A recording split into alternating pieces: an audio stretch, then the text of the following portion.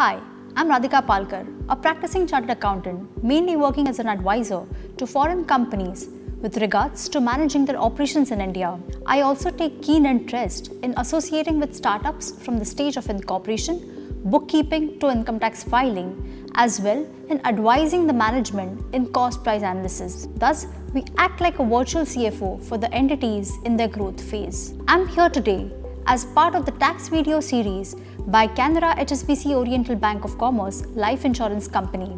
I will, in today's video, talk about the new tax regime enacted in 2020. This is an important subject from tax saving and ITR filing point of view. An individual taxpayer opting for the new tax regime would have to forego 70 tax exemptions and deductions. These include deductions under Section 80C for maximum of rupees 1.5 lakh claimed by investing in specified financial products, Section 80D for health insurance premium paid, 80 TTA for deduction on savings account interest earned from a bank or post office, etc. Having said that, there are various tax exemptions, deductions that are still available under the new tax regime. Hence, you can enjoy the lower tax rates of the new tax regime and avail the following exemptions. Amount received on the maturity of life insurance.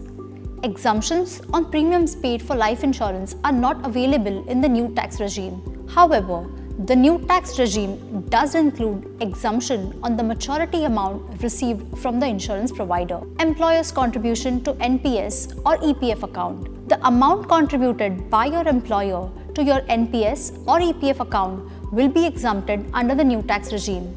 Keep in mind that employers can contribute an amount that equals 10% of employee's basic salary to the tier 1 of his or her NPS. Similarly, employers can contribute an amount that equals 12% of employee's basic salary to his or her EPF account.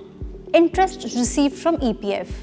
The interest received from EPF account continues to be exempted from tax in the new tax regime as well.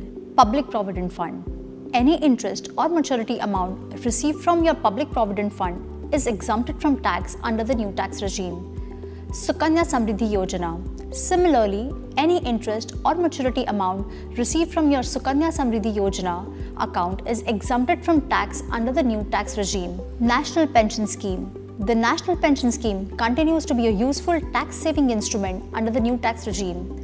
The lump sum received at the maturity of your NPS account up to 60% of your corpus will be exempted. The amount that you use to purchase an annuity plan, 40%, is also exempt from income tax. Any partial withdrawal you make from your Tier 1 NPS account will also be exempted. Interest on home loan on rented property. Interest on home loan taken out on a property that is self-occupied is not applicable for tax exemption under the new tax regime. However, the same is not true for home loan on property that is rented out. Hence, the latter is still eligible for tax exemption. Leave encashment on retirement. In several companies, an employee can opt to receive payment in exchange of his or her share of unused leaves on retirement. This is known as leave encashment and it remains exempted from tax under the new tax regime, provided it amounts to less than 3 lakhs. Gift from employer. Any form of gifts you receive from your employer remain exempted under the new tax regime, provided the value of these gifts remains under rupees 5000. VRS amount.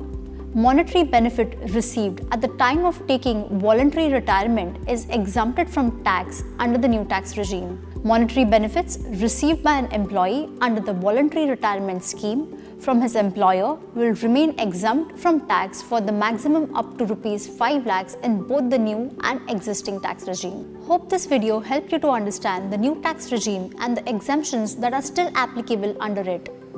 Thank you.